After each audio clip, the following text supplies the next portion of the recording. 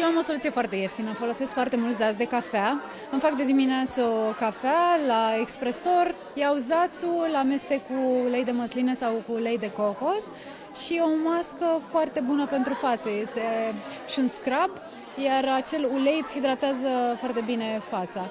E și ieftin, e și ușor de făcut. Am vedeți că pot folosi toate fetele și la orice vârstă. Da, la orice vârstă. Da. De asemenea, tot cu zațul de la cafea, care e bun și pentru celulită, bineînțeles, pentru picioare, îl mai folosesc și uh, ouăle, uh, un ou întotdeauna, de când eram mică îmi făcea mama mască cu ou, uh, cu zeama de la urzici, iar e foarte bună pentru păr, uh, iar pentru față, de foarte multe ori, nu știu, îmi pun castraveți uh, la cearcăne sau fructe, pur și simplu plimb uh, jumătate de fruct pe față.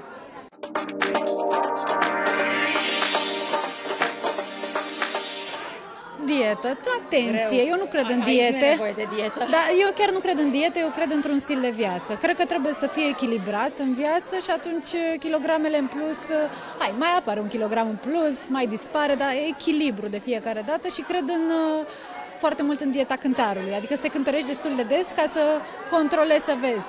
Când apar 2 kg, e cazul să treci pe salată mai mult, după aia când dispar, Mergi la sală? Nu merg la sală pentru că am o boală autoimună și n-am voie să fac sport.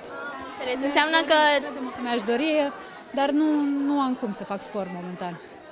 uh, Simona, vreo dietă minune? Aș vrea să țin dietă, dar nu sunt în stare, pentru că mă tentează o ciocolată, o prăjiturică. Deci singura dietă la mine e așa, înainte de vacanță, încerc pe cât posibil să nu mănânc pâine, să nu mănânc dulciuri, dar nu-mi reușește de fiecare dată.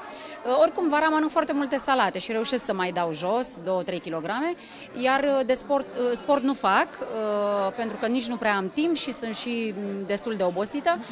Mă rezum la plimbările în parc cu Ingrid, alergat după ea, după bicicletă și cam atât.